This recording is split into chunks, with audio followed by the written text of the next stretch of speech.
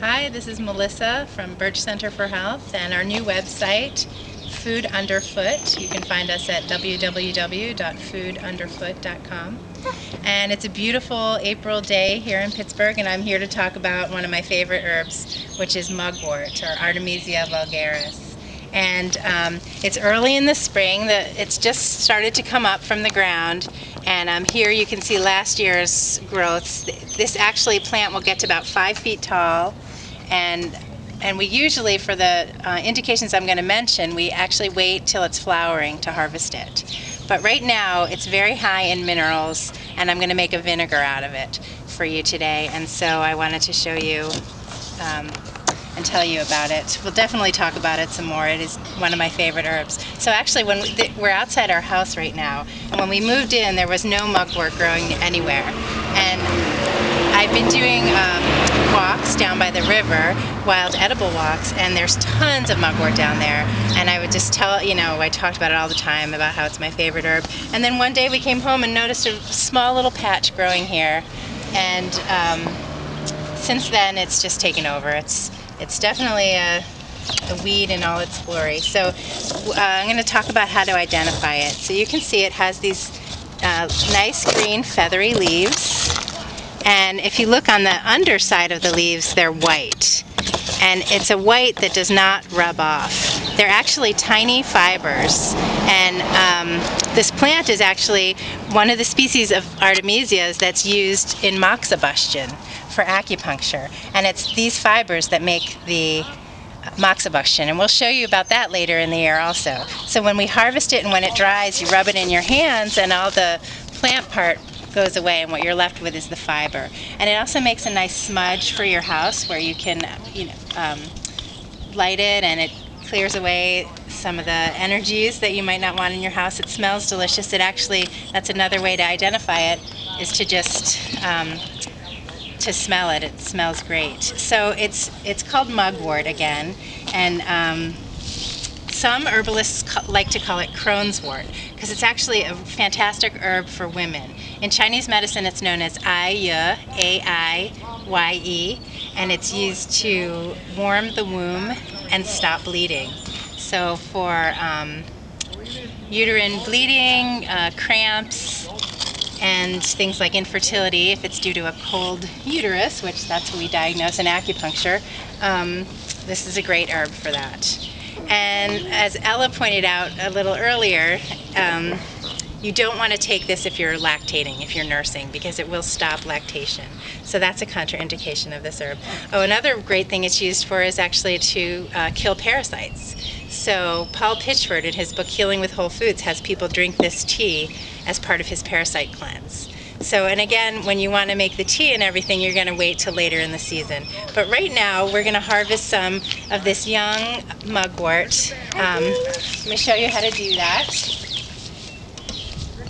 And we're going to use it as we're I'm going to make a vinegar and we'll go in the kitchen and I'll show you how to do that as well. And then we'll sample the vinegar at our workshop at the end of May. So that's on May 30th if you're in Pittsburgh please come to that. I think it's going to be a lot of fun. We're going to sample a lot of different vinegars um, we're going to have mugwort vinegar dandelion flower garlic mustard onion grass and whatever else I can find and think of and we'll just get to taste all the different vinegars but so what we're going to do is just take a scissors and just kind of um, just cut these beautiful little mugwort leaves and it's not going to hurt the plant at all.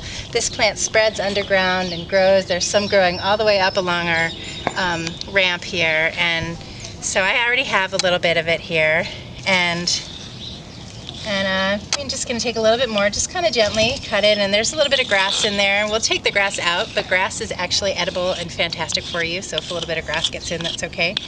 But um, so right now I'm just going to make a small jar of it and that's about all I need. And we'll go inside and I'll show you how to make the vinegar.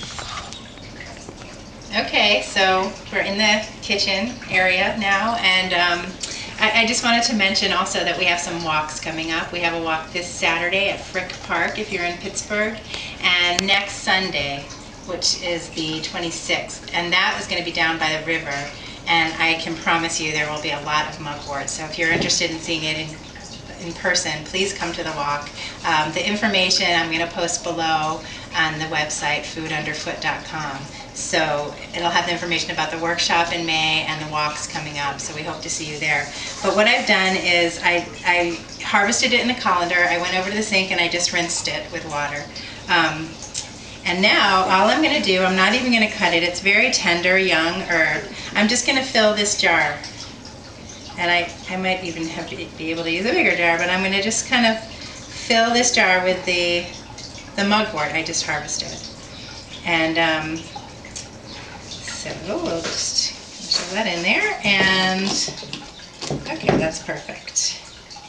So you want to really fill it up. And then what I'm going to do is we have this organic um, apple cider vinegar. and I'm going to just fill the jar again with the vinegar. And you want to use apple cider vinegar, not white vinegar. Apple cider vinegar is more of a kind of a real food vinegar. And so because we're going to ingest this, we are going to eat it. So we use um, organic apple cider vinegar. And now, because it's vinegar, if you have a plastic top, that's fine. But we have a metal top, and it it will corrode with the vinegar. So I have, I'm going to take a piece of wax paper and I'm just going to kind of cut a small piece of wax paper and um, and just put that between the the lid, you know, underneath the lid to protect the lid from getting all corroded. Actually, center that a little better. So that'll be great. And then, uh, very important to label it. Because even if you think that you'll remember.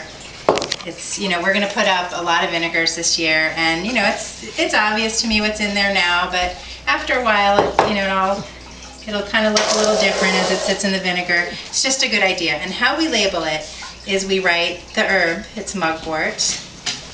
We write the date. Today is 4-1609, and the what I put it in, apple cider vinegar apple cider vinegar. And that's kind of the very basic that we need. Sometimes I also put where I harvested it from or, you know, if I have different batches or anything like that. But So right now, so you can use anything to label it. We happen to have this great um, tape that really sticks very well. But just make sure you put the label directly on the uh, plant. Okay, so what I'm going to do is I'm going to put it away for a couple weeks and then I'm going to filter the um, the herbs out of the vinegar and just leave the vinegar, save the vinegar. That's what we're going to use. It's a very high mineral rich vinegar. You probably don't want it if you're nursing, if you're lactating, because you really don't want to take this herb internally. It can stop lactations. Um, come and to our workshop and come to our walk. We hope to see you and enjoy the day. Thanks.